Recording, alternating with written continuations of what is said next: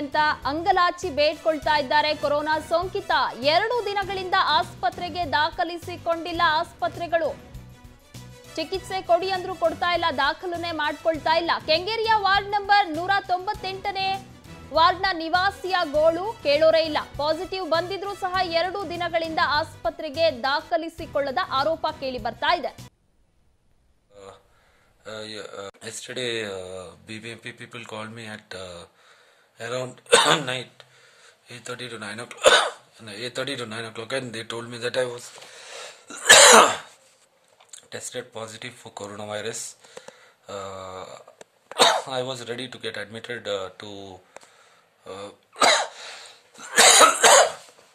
to any private hospital, but we were not receiving. Uh, any proper response from private hospitals. Even BBMP people uh, supported and coordinated uh, and tried their best to get uh, uh, beds in private hospitals, but none of the private hospitals were responding properly.